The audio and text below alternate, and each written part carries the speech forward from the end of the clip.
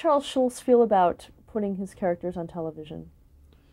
Well, I think he was a little a little apprehensive. He didn't quite know. You know, when you're a cartoonist, you have control of everything. You you there's nobody there's nobody else you have to deal with. But because it, the commercials had come out well with Bill Melendez in the late uh, 1950s, he knew they could be animated and he knew what they would sound like. And he was very he was a very competitive guy. He would like to go out and ch- and, and challenge things. And so um, when we did the minute on the documentary, he liked that. So he had he really wanted to do it if we could, you know, if we could sell it. And um, once we got started, he was he was quite uh, at home with it. There was no problem. It was a very close, amiable partnership, and we all discussed uh, uh, every aspect of it. Um, I do remember I said at the first meeting, once we started production, now you know we're going to have to have a laugh track.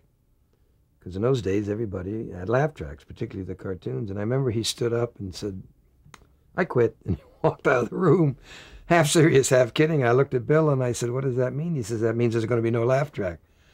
And um, but other than that, I don't recall any uh, disagreements. Um, uh, I think because we each respected what each other did. The animator did the animation, and I would do the voices and the directing, and he, he would do the outlines, and we'd all do the storyboards. And the fact that we lived in different cities, so we didn't fight a lot, helped. And so we really had no trouble. I don't think we had an argument in 40 years amongst ourselves.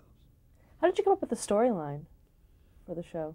For, for, For, which, Char- Charlie Brown Christmas. well, the storyline for Charlie Brown Christmas was at that first meeting, that whole outline when we had to send it down to Coca Cola, and um, just about everything you see in the show came from that from that meeting, and the the idea that would be a Christmas play, the idea that there would be a small Christmas tree that wouldn't quite make it, and then the true meaning of Christmas. Those were the three threads, and then the music added to it because we had all the dance scenes. It just kind of evolved from that original outline.